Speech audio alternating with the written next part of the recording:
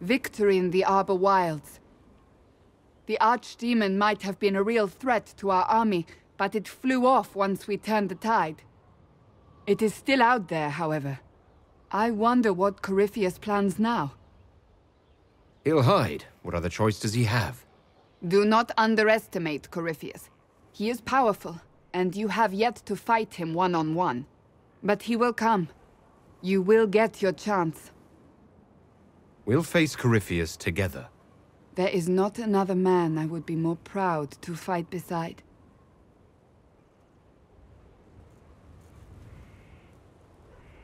Not long ago, this was impossible to imagine. You, the man I love, victory close at hand. The time has come to consider what will come next. I don't care what's next, as long as we're together.